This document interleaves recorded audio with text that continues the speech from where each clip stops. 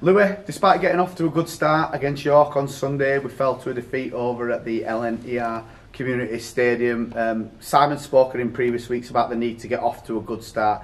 How disappointing was it that, despite getting off to a good start, that we couldn't do the job in the second half? Yeah, it's quite tough. You know, we've been struggling a bit this year, either starting bad and finishing good, or starting good and finishing bad. We haven't really put the 80 minutes performance together yet. Maybe on a few occasions, but that's something we need to get better at, and hopefully we, we do it this week. We edged ahead, uh, 18-16 into the second half with a penalty from yourself, and then they instantly took a ball, went the length of the field and scored. Do you think that momentum shift sort of drained the players of a bit of confidence at that time? Yeah, it's always because he was kicked by me on on the side, and then they end up going the, the length. So it's always a, a bit of kick in the teeth when you're in the arm wrestle and then working when, and then all of a sudden, just because of one play, they came back on top. So I think we struggled to recover from that, even if we had plenty of chance, I think, to steal it before the last try, obviously, one minute before the end. But yeah, we go again. Yeah, moving on to Batley this weekend, one of your former clubs uh, over away at Mount Pleasant. What do we need to ensure that we do better this week to make sure that we can get a victory on what is a tough place to go? Uh, I'll put it on me. I probably we need to finish our set better.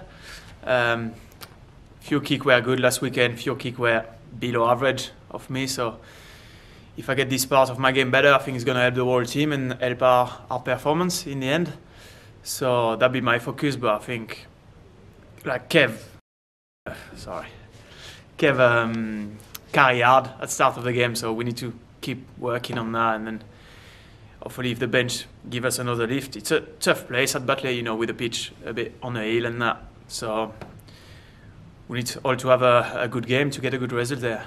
And finally, confidence seems to be a bit low at times um, with the players. Maybe with the fans as well are a bit low. How important is it that we all stick together and we all go to Mount Pleasant in numbers as fans and players and, and tr- put our best game and our best foot forward and try and get a result?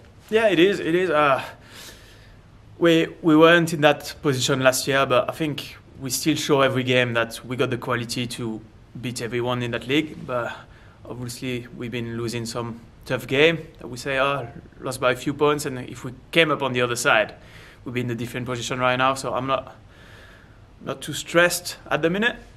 Uh, everything's still to play for in that league because everything's tight, but we need we obviously need to turn things around and then get the best version of us.